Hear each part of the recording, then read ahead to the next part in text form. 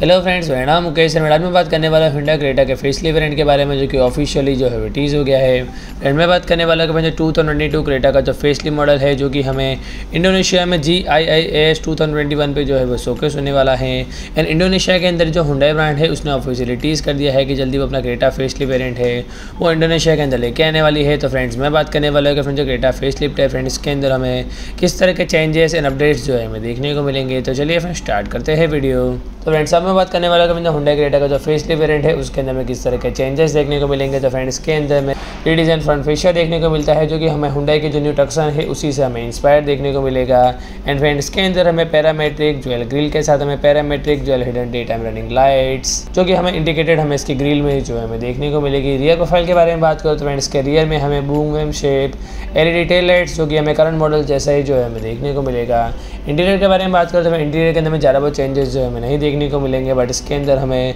Dual tone dashboard के साथ हमें जो टच की इन्फॉर्मेट सिस्टम है, वो हमें अपडेटेड फीचर्स के साथ जो है हमें देखने को मिलेगा एंड इसके अंदर हमें फोर स्पोक स्टेयरिंग व्हील के साथ हमें डिजिटल इंस्ट्रूमेंट क्लस्टर भी जो है हमें देखने को मिलेगा। इंजन ऑप्शन के बारे में बात करो तो फ्रेंड इसके अंदर में 1.5 litre four cylinder petrol engine देखने को मिलता है, जो कि हमें 113 bhp के पावर के साथ एंड 144 एनएम टॉक के साथ जो है वो हमें देखने को मिलेगा। एंड इसके अंदर हमें 1.4 लीटर टर्बो पेट्रोल इंजन भी देखने को मिलेगा, जो कि हमें 138 bhp के पावर के साथ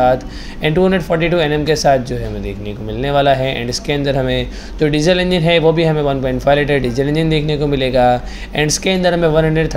का power and two hundred fifty N M का जो पीक टॉर्क है, हमें देखने को मिलेगा। एंड जो पेट्रोल एंड डीजल दोनों इंजन ऑप्शन है, वो हमें six speed manual seven speed D C T and C V T and जो डीजल इंजन है, वो हमें six speed manual and six speed automatic transmission के साथ जो है हमें देखने को मिलेगा। तो फ़िलहाल तो इसके अंदर में इतने चेंजेस जो है हमें देखने को मिलते हैं, और अगर इसके बारे में कुछ नई इन्फॉर्मेशन आती है तो जल्दी मैं अभी एक नया वीडियो लेके आऊँगा एंड मैं इसी तरह से अगर आपको हमारे न्यू एंड इन्फॉर्मेटिव वीडियोस देखने हो तो फिर हमारे चैनल को सब्सक्राइब करें, ताकि हमारे आने वाले हर ऑटोमोटिव वीडियोज़ के अपडेट्स आपको जल्द से जल्द मिले। एंड वीडियो अच्छा लगे तो लाइक करें शेयर करें एंड कमेंट करें।